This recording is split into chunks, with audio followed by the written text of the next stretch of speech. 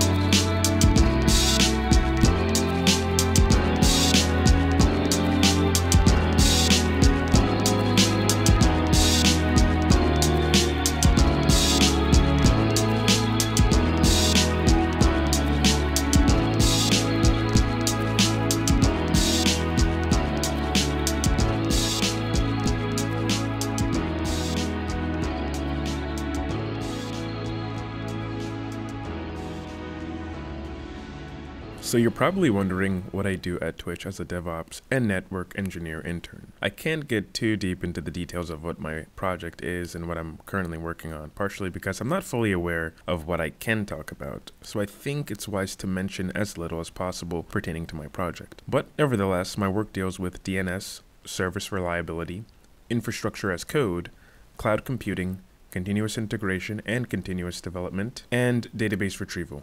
In terms of coding, much of my coding is done for the purpose of scripting in order to accomplish repetitive tasks. To achieve this, I use Bash, Python, and recently, for the sake of experimentation, I was allowed to dabble in F Sharp, a functional programming language.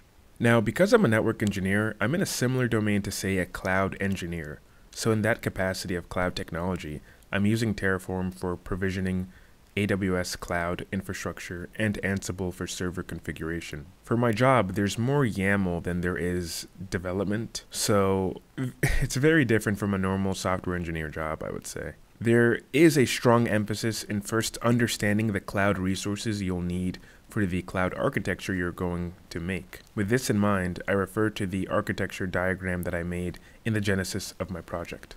I would say that the job is challenging, but not in the I want to give up and die kind of a way, but but rather the wow, I've hit a roadblock, but I've been learning so much already. I think I can figure this out kind of way. Granted, working under this nebulous DevOps title demands an understanding that you will have to have a broad grasp of many technologies, tools, and in some cases, programming languages. I would consider myself a junior level network engineer that uses DevOps practices at work.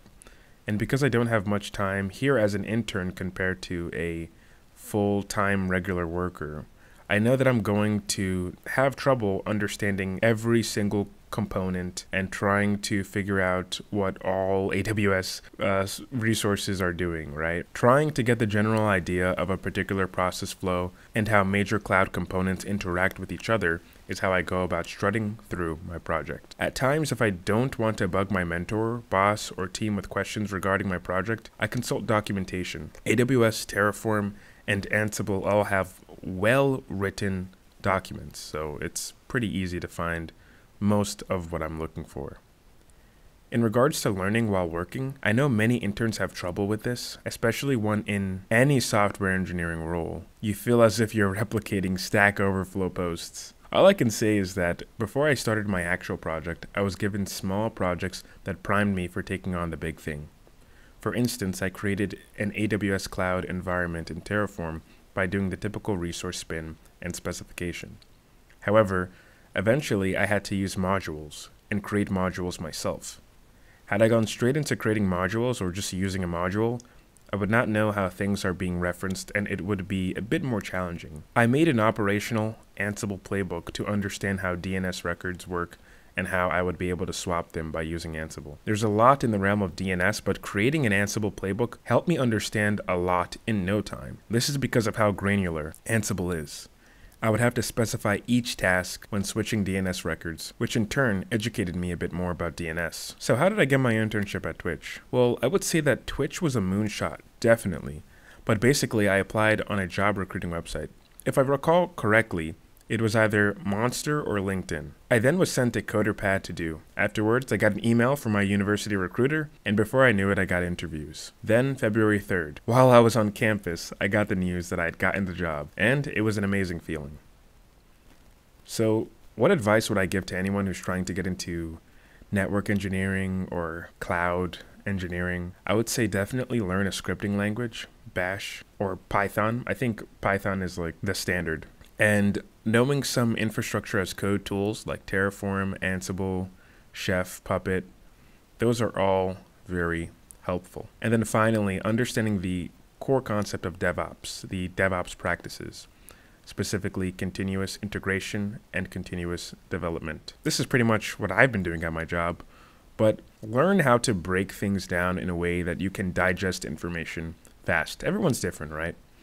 But Definitely, like I said with the DNS example, making those Ansible playbooks helped me understand DNS and DNS records. So that's a very, very monumental thing for me. And going through the process of spinning up AWS resources or any cloud provider resources using Terraform, and then using modules and finally creating Terraform modules really helps enforce your learning process because now you're starting to link things together and you can see where things are being referenced.